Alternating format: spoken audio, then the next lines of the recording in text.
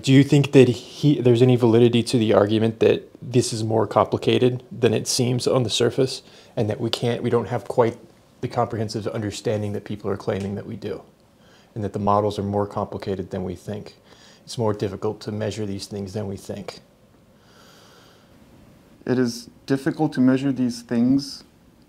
However, when the scientific world um, runs their uh, tests and they collect the data and then they interpret the data independently from each other. And when the scientific world agrees in an overwhelming percentage on. What is the scientific world? The scientific in institutions that have tracked climate data independent from each other. Okay, who governs those institutions? And what motivates them? What do you mean, what motivates them? What, okay, who controls the institutions? Depends. Okay, so which institutions are you talking about? Um, we can put the list on the screen. Okay, so you don't know. Oh, I do. I could. Yeah. Do you want me to read them to you? Well, is there validity in, in what he's saying? Is that I think this is more complicated and I'm questioning it. And your claim seems to be we have, in, we have uncounterable evidence that these studies are accurate. Is that correct? Yes. Okay. So you claim the studies are completely accurate. The studies are accurate because they follow the scientific approach. Right? And the studies focus on a, a time frame. Um, so what are they focusing on? They are focusing on climate change being mm-hmm. a direct consequence of human. Okay. The the time frame. How can we understand the weather and how in the climate change that was occurring over 100 years ago when they did not have the technology we have today? How are we able to measure that? I did not look into the specifics of how they measured it. Okay. We have no idea what the impact is from. We don't know where the carbon dioxide is from. We can't measure the warming of the oceans. We have terrible temperature records going back 100 years. Almost all the terrestrial temperature uh, uh, uh, detection sites were first put outside urban areas, and then as and then right, and then you have to correct. Then you have to correct for the for the movement of the urban areas. And then you introduce an error parameter that's larger than the purported increase in temperature that you're planning to measure. This isn't data, this is guess. Because it seems to me that London, for example, in the 1800s is, was far worse than it is today in terms of climate. It was known that the London fog was not natural fog. That was soot in the air, and it was, it was emissions, human created emissions, which is, has been decreased today. Right, that is, a, that is a particular case in London. Okay. If you want to make that case, this is on a global. Okay, so on a global scale, so I just looked up as far as air, if you just Google IQ air, we'll use that as a source, actually looking at. So the countries that ranked highest, first is Chad, Iraq, Pakistan, Bahrain, India, Egypt, Rwanda, Ghana, China, going all the way down. And USA is ranked 102. If you're starting at one as the worst, all the way down, 102.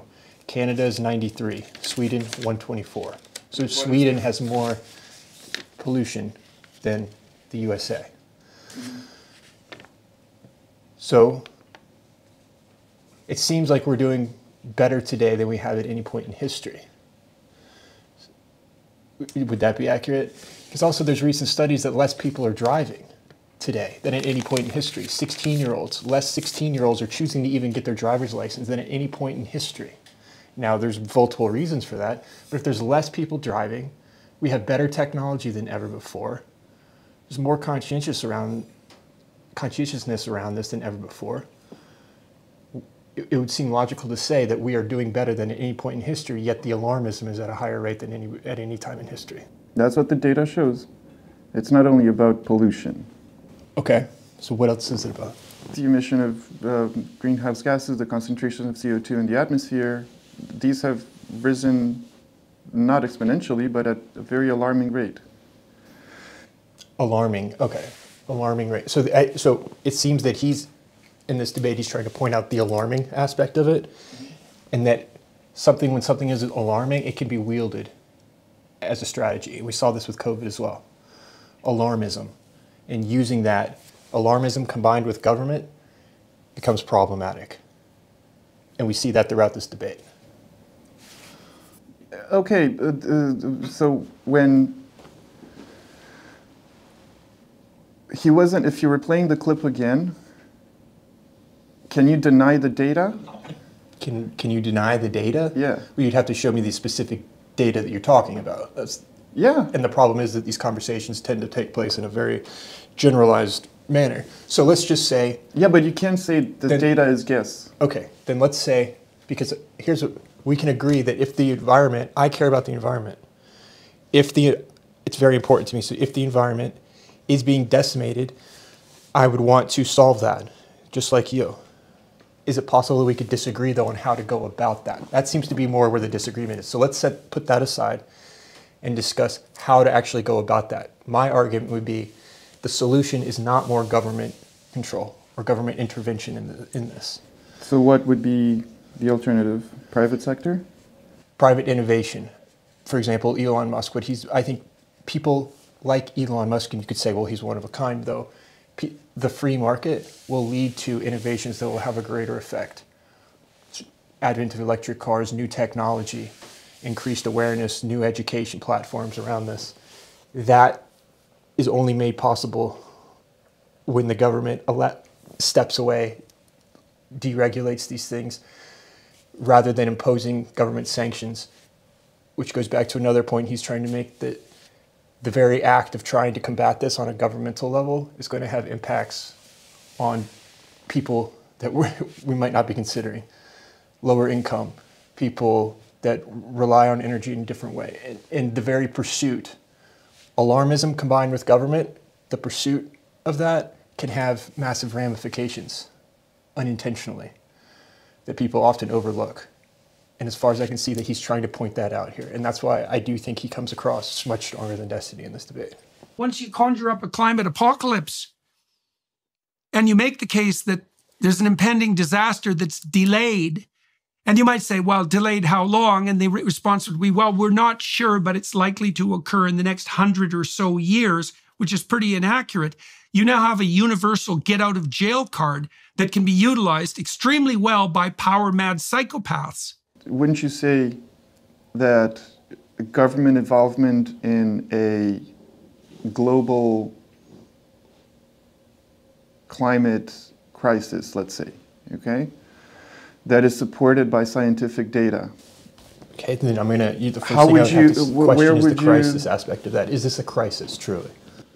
I mean, if the data supports it, and if we're seeing a rise in CO2 level, and if we're seeing a rise in global temperatures, like we do, I mean, Okay, but but then I you listen to other researchers, Richard Lindzen, Judith Curry, discussing with him, and they're they are making they're conducting studies themselves that seem to counter the idea that this is a crisis on the level that is being portrayed. Not that it's not happening, but that it it is at a level of crisis which validates extreme action. And I think that is questionable. define extreme action. Ex- government, okay, COVID response. That was an extreme action. No, about climate. Climate, the government imposing regulations out of, necess- out of necessity caused by a, cr- a, a crisis. That if we don't take action, the world will have drastic ramifications in the next 10 years. We have all heard AOC talk about this and other people talking about this, the world, framing it as though the world, we are on the precipice. Greta Thunberg, now people are going around gluing their hands to paintings, destroying fine art, holding up traffic, imposing what they think upon other people. And it's the imposition and the pursuit of a crisis that is muddling the waters and I think is actually causing more harm in that pursuit because then people question it even more and and just they get frustrated more and it actually does more harm to the end pursuit than good. Does that answer? It, it, it answers it somewhat, but recognizing that the climate is changing and it is changing due to human intervention, wouldn't that warrant a uh, some sort of action from Well, what kind of action? First, I would still challenge you on. You'd have to be able to support that, but let's just say that you're right. Okay. The data is overwhelming. Okay, so let's say, okay, so then what kind of action?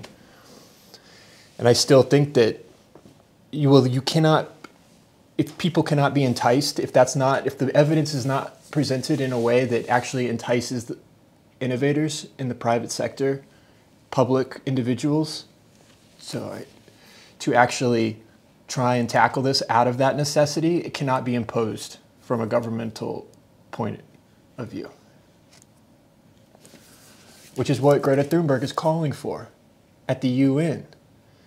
And that's what we see Elizabeth Warren and uh, politicians who are saying she's right. They there's concern and I can't blame the people that do notice that pattern saying that they are trying to there's concern around them wielding this.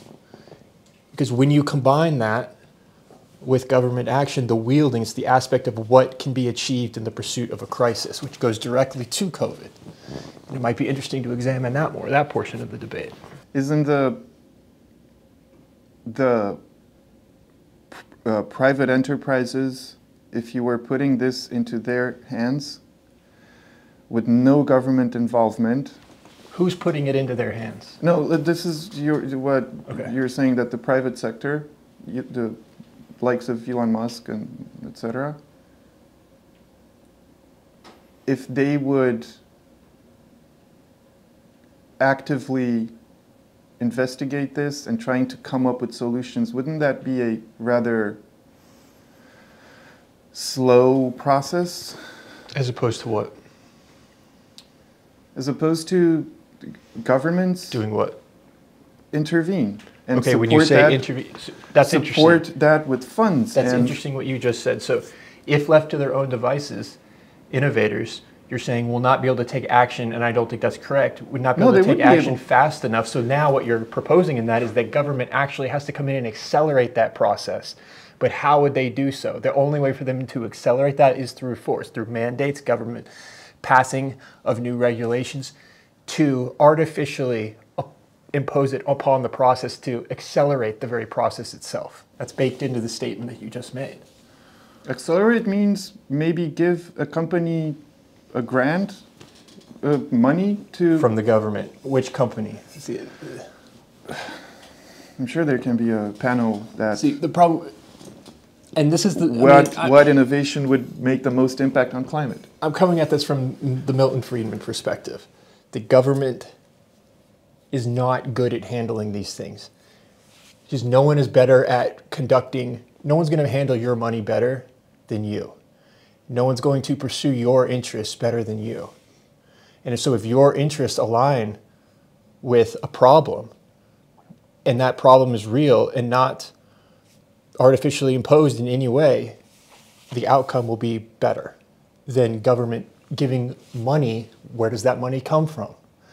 Comes from us, taxes or printing more money, which leads to inflation, which just drives up gas prices and then has more ramifications upon the environment.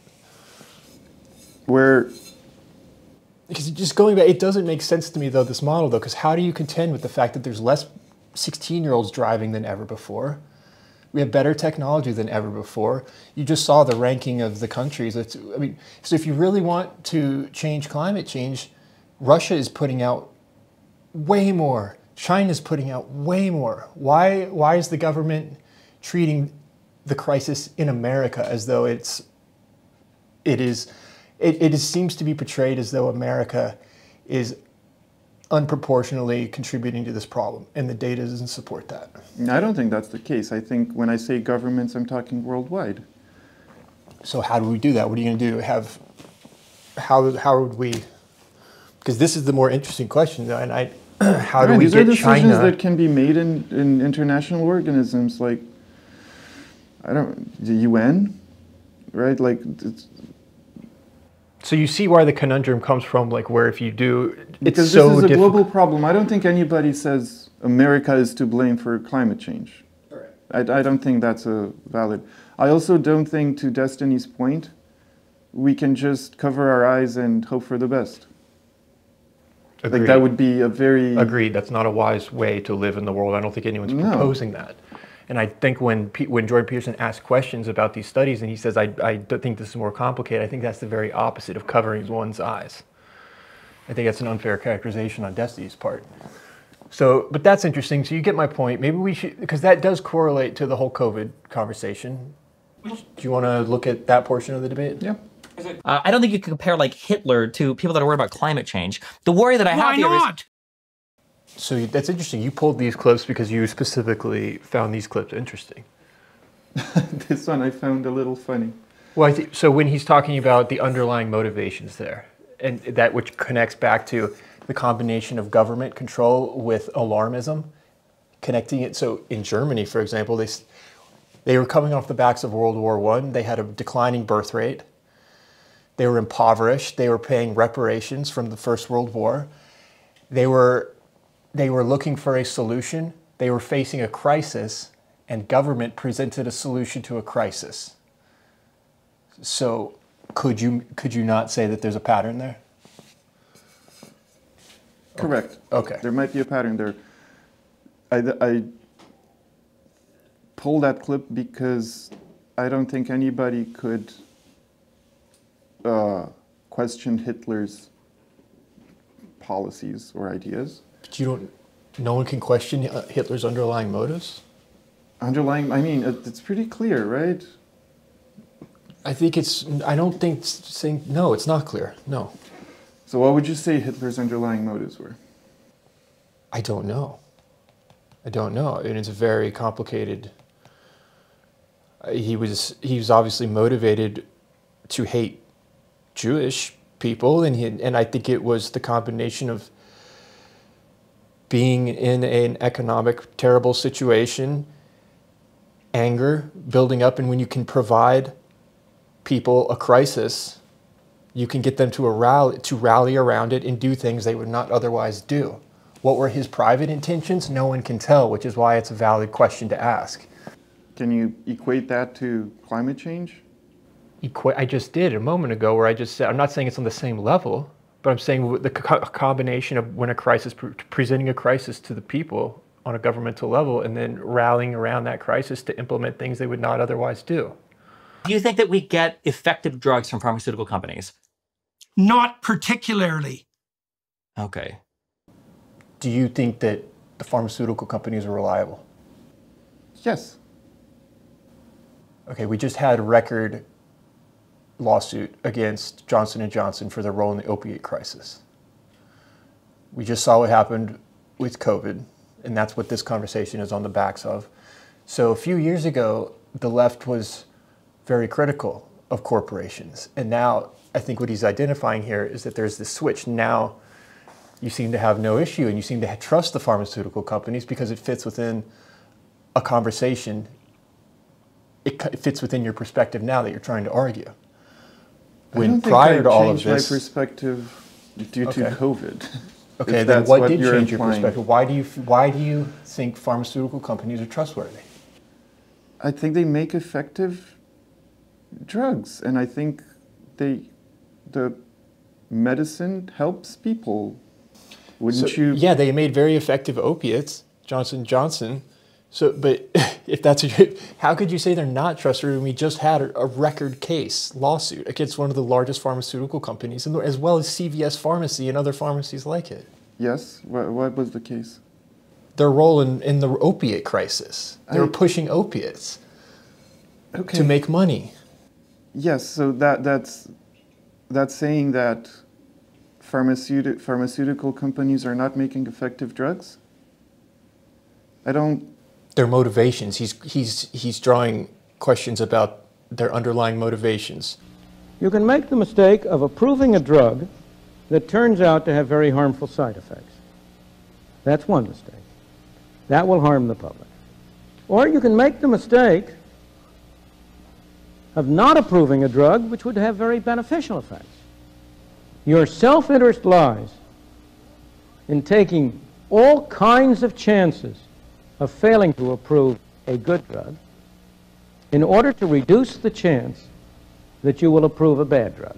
Bureaucrats who survive will only be able to survive if they follow a policy that is very harmful to the consumer. Can you agree I with don't, Milton I don't disagree with the fact that they might be corrupt on some level, or they, that they are corrupt, and the, that at the end of the day they're a business. Do you think government But can you put in the balance the, let's say, harm with the good? If you're asking me, do I think we need pharmaceuticals? Yes. Yeah, we do, But right? how do we go about getting those pharmaceuticals to be the best that they can, the most effective they can be? And I, going back to Milton Friedman, I think it's not through government. It's not through the FDA. The results are that you will have an excess of prevention of good drugs in order to avoid excess of prohibition of good drugs, in order to avoid admitting a few bad ones, that you will increase the costs of doing medical research, that you will reduce the amount of medical research done, that you will reduce the battery of drugs available to the public. So if I'm a pharmaceut, if I'm trying to create a pharmaceutical product, it's designed for the a market. I'm going to want to include as much information that will make it easiest for the marketplace to purchase that product. So it would be in my best interest making that product to be transparent, not the government's. It's actually coming from my desire to sell the product and to do so in a transparent way because the consumer is going to appreciate transparency more so than the government. So when the government acts and requires transparency, it's coming from a different place of motivation. What is that motivation? The motivation to make to make a product that best appeals to the consumer, and in doing so, I need to be transparent. So what is the government's motivation? Well, that's a good question. It has become much more expensive to meet FDA standards since the 1962 Kefauver amendments, which greatly strengthened the requirements imposed on the FDA, requiring them to judge not only the safety but also the efficacy. Come on, like there's entire campuses of startup pharmaceutical companies with quite interesting uh, uh, Sure, and government regulation makes that more difficult to do, though. But around they're still COVID, subjected to trials, to phases of trials, right? And I think that's a good thing. Yeah, and the question around the COVID conversation would probably be around whether those trials were actually adhered to in the way that they were claiming. No, I don't medicine think so. hasn't? No, I don't think That so. you're just I wrong. think they're You're utterly wrong. I see. So you don't think that the pharmaceutical companies who dominate the advertising landscape with 75% of the funding are corrupt? You can't deny the number of people that got infected, the number of people that died from this virus. I think the, most people lost their, um, or a lot of people lost their um, trust in scientists because of the way the, the events unfolded. So it was like, masks don't work. Oh, wear masks.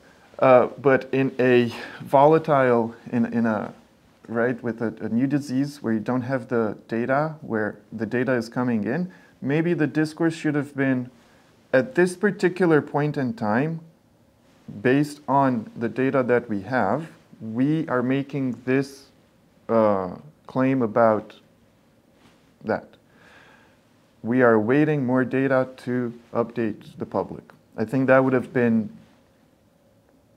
better way to phrase it. Going back to our conversation which is about what I language, think we should right? be doing about climate change. I would apply that exact statement you just made and apply that to the very beginning of this conversation around the climate conversation. That's the argument that's being made, is that that's the position we should be taking on climate change, because it's the combination of a crisis with government implementation into that crisis, The doing things they would not otherwise do. But There the is much more. is the same. There is much more data in the climate conversation than the, that, Okay. that that it was at the time when these conversations were taking place about. But we see, for example, the mistakes that can be made when we act out of alarm in the, to tackle a crisis. So it's not a surprise that people are questioning that crisis in the wake of the COVID crisis and, the, and what we saw actually occur. And it's interesting that the two do naturally tie together. Yeah, I'm talking about the way the information was presented, I would say the same. not not the validity of whether or not it was a pandemic or the validity of the vaccine, just the way in which the scientific world presented that, or not the scientific world, I guess. Um, what's his name, Dr. Fauci? right? Yeah, which I think that it, the the word I mean this phrase the scientific world it does give a new context to it after seeing how it was wielded in that way. It was given a face. Action figures were made. It's the science. It became. So I don't blame people for asking questions now. We have to conduct ourselves carefully. Otherwise, whenever something does come along, it's like the boy who cried wolf. When something does come along, it's going to be natural that people are going to question it in the wake of this. I'm not contesting the data. I'm just saying that Well, maybe you should. on what? the efficacy of these of the Pfizer of the, the efficacy of what they were claiming. I mean, just with your own eyes, how many people have you seen get COVID after how many boosters? It seems I've seen. I mean, my mom after getting every booster that's ever existed seemed to be getting it even more.